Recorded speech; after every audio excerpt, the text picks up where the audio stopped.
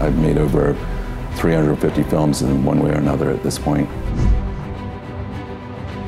What research have they done relative to their film as to what the marketplace is willing to bear in terms of the budget?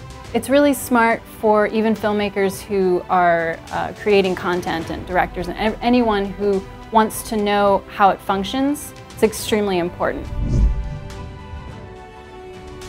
If someone doesn't want a collection agency, especially a sales agent, it means that they have something to hide.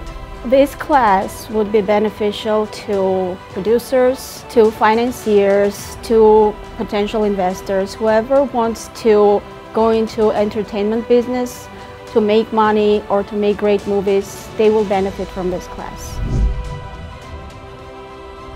Many producers believe that just because they've been to a film festival and gotten audience adulation at the film festival, that that's going to translate into mass market appeal. And then the sales agent gets paid from the collection agent.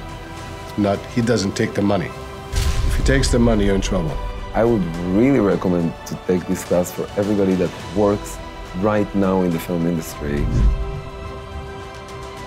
You don't know what's gonna make money or not, so just make something that is from the heart you know, and, and you will speak to people. I believe that everybody that's in film should learn this because at some point you will be um, interfacing with someone in finance in some level of form.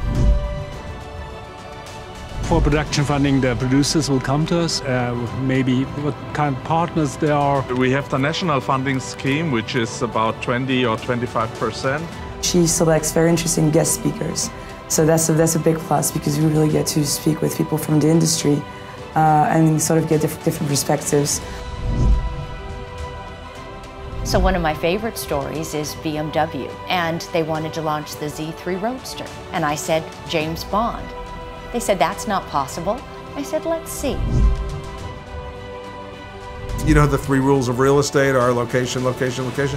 I always say cast, cast, cast. Packaging it with talent who have a certain appeal.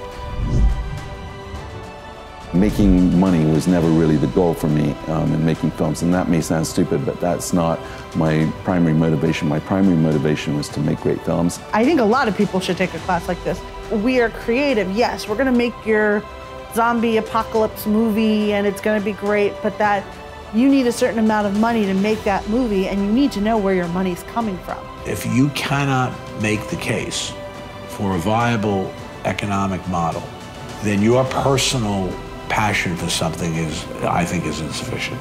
This is my favorite class out of all the classes I've taken here.